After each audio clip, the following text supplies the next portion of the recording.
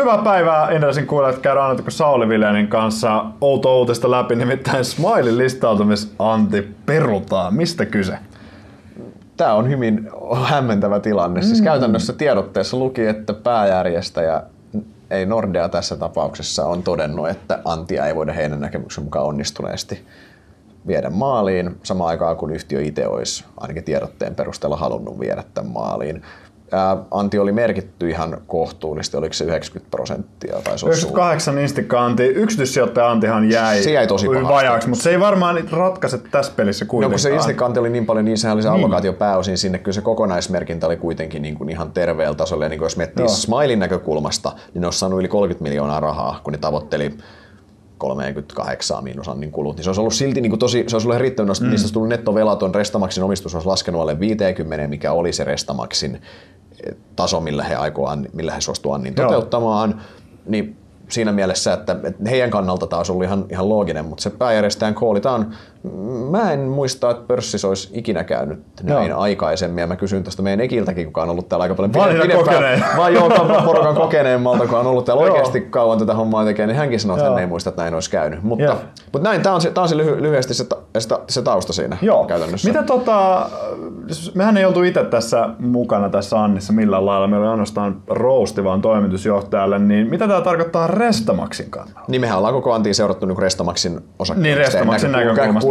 mutta meillä, ei, meillä ei ole Smileista, just näin, meillä ei ollut, ei ollut Smileista omaa analyysiä. Tota, Ää, mitä tämä tarkoittaa Restamaksin omistajille? No ekana, jos katsotaan... Mutta kun osake laskee tänään. Niin, no sitä se laskee, mutta katsotaan, mitä, jos mietitään niin fundamentteja takana, niin ää, Restamaksin tase, se on, gearingi on hurjan näköinen, se on yli 200 prosenttia, omavaraisuus on matala tämän Royal Oston jälkeen. Mm. Mutta fakta on se, että nämä luvut on matalia, koska Smilein arvo on tosi matala taseessa. Nehän olisi tehnyt tämän Smilein järjestelyn myötä 40 plus miljoonaa ylöskirjauksen, mikä Joo. olisi korjannut ton, ton tasepuolen. Niin. Ja eihän se Smilein arvo ole oleellisesti muuttunut. Mm. Tämä ei tietenkään, siis kun Smilein arvo on siis on työlukunat, mitä tuo olivat tuomassa pörssiin, niin työluku, toi on, aika, toi on, aika, toi on ihan oikea, oikea työluku. Joo. Eli tavallaan ja sitten kun katsotaan taseen toista, tasetta, tavallaan velanhoitokykyä, niin nettovelka suhteessa seuraavan 12 kuukauden käyttökatteeseen, missä on mukana siis rojali sitten näkyy jo täysmääräisesti, niin niin on noin kolme, mikä on ihan ok taso. Ei, ei sinne lisää velkaa voi ottaa, ei missään toi, nimessä. No Restamaxilla itsellä on nyt pikku niinku karppaushetki Royalin kanssa, nyt vähän synergiaa sisään yes. ja ei epäorganista laajentumista hetkeä enempää, mutta sen sijaan Smile, sehän syö rahaa kuin mikäkin. Niin yes. Miten sen kannalta? Siis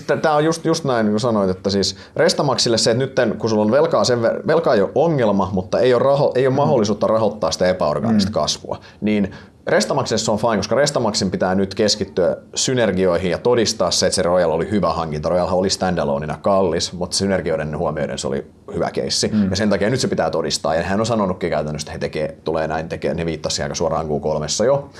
Ää, mutta Smiley, niin kuin sanoit, niin Smiley mm. tarvii pääomaa. Tuolla toimialalla on erittäin hyvät kasvumahdollisuudet epäorganiset. Se olisi miksi Smiley, josta rahaa on hakenut tästä. Ja mm. Smiley ei pysty sitä, sitä kasvua toteuttamaan täysmääräisesti ne voi maksaa omilla osakkeilla yrityskauppoja, mutta se ei ole aina niin helppoa, koska kaikki ei halua omaa osaketta vaihdossa. Mm. Ja toki se oman osakkeen hinta ei välttämättä ole niin hyvä, mitä se olisi ollut pörssissä likvidinä osakkeena. Joo. Joten kyllähän tämä vaikeuttaa, vaikeuttaa tätä, tämän samailin kasvustrategian joo. toteuttamista lyhyellä aikavälillä. Mutta tosiaan niin sijoittajan näkökulmasta, niin olisihan tämä ollut, siis se mehän pidettiin tätä positiivisena asiana Restamaksin sijoittajille, koska Restamaksista tulee selkeämmin ravintolayhtiö, tase menee kuntoon, on mm. pääomaa rahoittaa molempien kasvua. Nyt tämä ei toteudu, niin on tämä negatiivista Restamaksille, mm. mutta ei tämä missään nimessä ole mikään katastrofiskenaario Restamaksille. Jos mietitään niin kuin ennusteiden näkökulmasta, meidän ennusteethan pysyy muuttumattomana, koska Smiley ei lähdekään mihinkään. Niin, Toki näinpä, sinne tulee, tulee Q4 joku luokkaa puolentoista miljoonan hitti näistä kuluista kaiken hyvän lisäksi, mutta, mutta, siis, mutta, se, on, mutta siis se on se, että et meidän ennusteisiin ei tapahdu muuten mitään, että ne jatkaa toistaiseksi osana. Sun ennusteissahan ei ole epäorgaanista kasvua mukana, eikö niin, käytännössä? Ei, vaan toteutuneet Joo. kaupat, koska no, yrityskauppien mallintaminen on vähän, niin, jos, jos, ne, jos ne epäonnistuu, niin yhtiö arvo menee nollaan, ja jos ne mallinnat ne onnistuu, niin lopulta maailmassa on vain yksi yhtiö. Se on se, mikä siinä, siinä, siinä, ei ole, siinä ei ole hirveästi.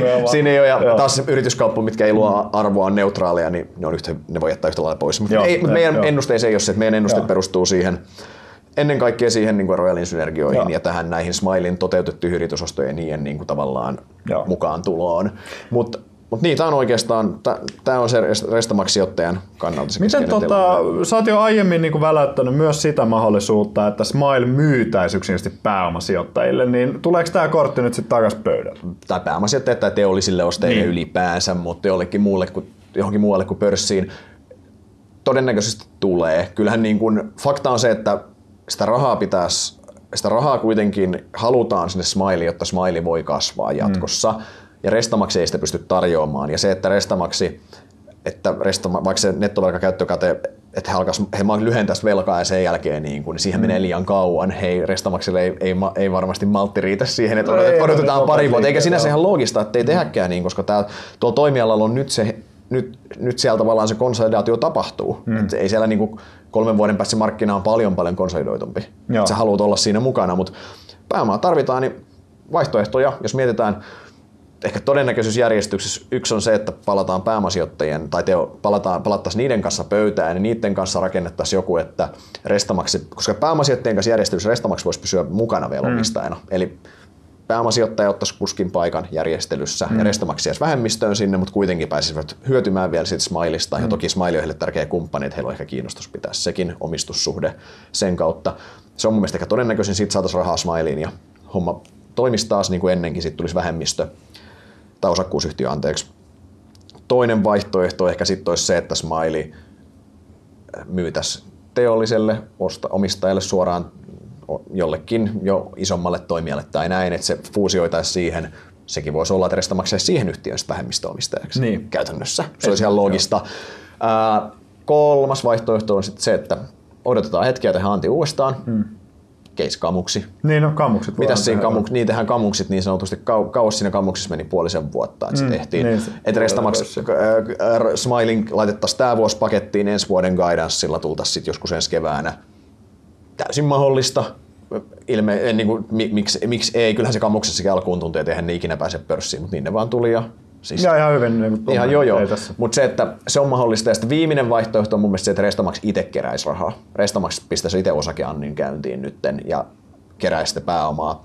Mä pidän sitä epätodennäköisimpänä vaihtoehtona, koska mä en usko, että pääomistajat haluaa itse dilutoitua Restamaxissa tavallaan. Niin, tähän se on pitänyt aika hyvin niin, ja kun, ja kun se on vähän tavallaan se, että kun Smilissa on se, että Smiley pystyy tota, Smiley tarvii pääomaa kasvua, mutta kun Restamax, Restamax ravintolapuoli ei itse asiassa tarvi, koska niillähän se käyttöpääoma on raskaasti negatiivinen mm. ja niillähän se kasvu pystyy rahoittamaan ainakin niin sen ja tulorahoituksen mm. kautta aika hyvin. Niin sen takia tavallaan Restamax ei, Restamax ei niin ravintolapuoli ei tarvitse pääomaa ja sen takia se konsernin diludoiminen Annilla ei mun mielestä mm. olisi hirveän järkevä vaihtoehto osakkeenomistajien kannalta. Yep. ei olisikaan. Niin sen takia noin kolme muut, että pääomasijoittaja, teollinen tai sitten odotetaan hetkiä uudestaan pörssiin no. nämä vaihtoehdot.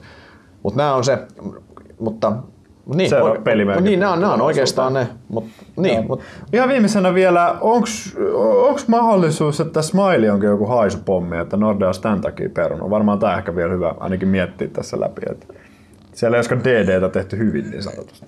No siis kaik, kaikkihan on toki mahdollista, mutta siis mä en usko, että se tiedotteen kommunikaatio olisi tuollainen. Mm. Mun mielestä tavallaan se, että jos jotain tämmöistä olisi, niin kyllähän yhtiö, eihän yhtiö silloin Joo. itse lähtisi syyttämään pääjärjestäjää huono, niin kuin hölmöstä päätöksestä, niin sanot kyllä noin heidän, heidän Rostamaksin kommentit olivat aika, aika suoria siinä, että mm. he oli eri mieltä, mitä pääjärjestäjä oli. Joo. Yleensä tämmöisessä tapauksessa pääjärjestäjä toteaa, että wow, että löytyy jotain, mikä ei ole hyvä, niin silloin käytännössä pääjärjestäjä silloin yhtiö varmasti itsekin toteaa, että okei, okay, fine, Joo. eikä rupea syyttämään pääjärjestäjää, niin mun mielestä se ei tue sitä se, se ei tue sitä. Samaan aikaan tuossa Mailin business on suhteellisen yksinkertainen mm. kertainen kuitenkin.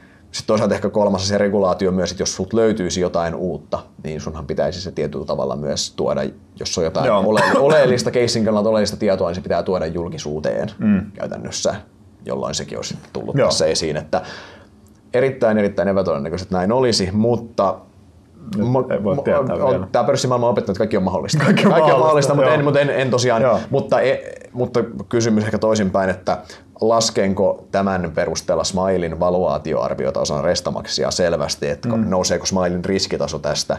Mm. Ei. Joo. En, en näe, että Smilein käypä arvo muuttuisi oleellisesti siitä, Joo, mitä aikaisemmin sanonut. uutista, niin- Eh, niin jos, joo. just näin, jos ei, jos ei mitään niin konkreettisia uutisia tule, niin en näe, että se Smilein käypä arvo on Joo. oleellisesti. Niin eihän se, mun mielestä se käypä arvo, niin no, siinä 90, 90 pinnaa niistä merkattiin. No, että sillä luke, hinnalla lukekaa viimeisimmät raportit päivät. Niin, niin, niin siis mehän sanottiin, siis mehän sanottiin alun perin, että 105 oli meidän näkemys siitä Mm. EVstä. Se alkuperäinen listautumishintahan oli jossain siellä korvilla, sitten se tuli 95, eli meidän todennäköisesti me tarkistetaan sitä sieltä 105 luokkaa sinne, mm.